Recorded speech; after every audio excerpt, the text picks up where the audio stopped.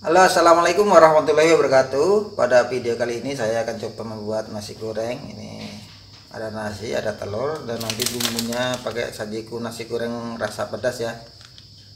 Untuk cara pembuatannya Kita langsung eksekusi di dapurnya Mama Ina.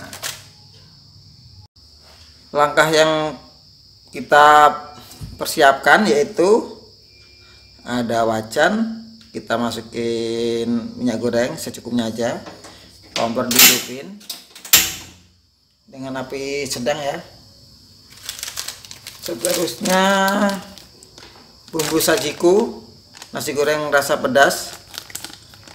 Kita masukkan ke dalam sini. Semua aja. Sesudah itu telur ya dimasukkan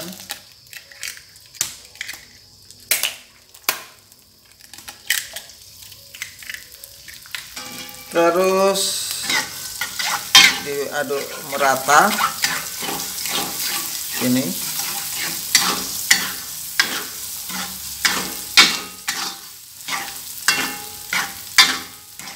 Kalau sekiranya udah seperti ini langsung dimasukkan nasi ya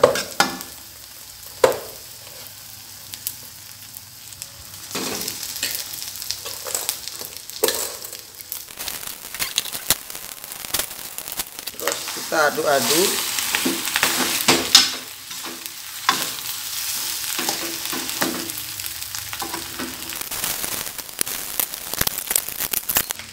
Terus ditambahkan kecap bango atau kecap yang lain juga bisa. Sedikit aja seperti ini. Terus diaduk-aduk lagi. Kebetulan saya pakai ini ya pakai ulek-ulek biar merasuk ke dalam. Kita ulek-ulek ini.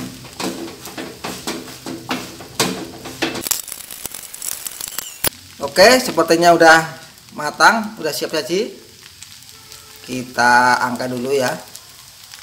Ini nasinya udah diangkat.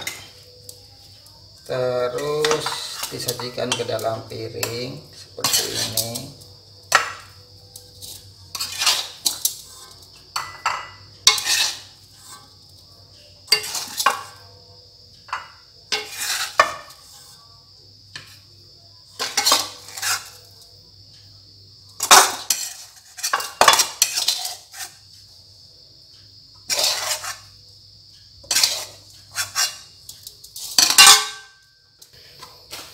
Oke guys, sudah siap menjadi tiga piring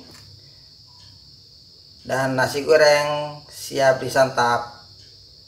Sekian dulu, wassalamualaikum warahmatullahi wabarakatuh.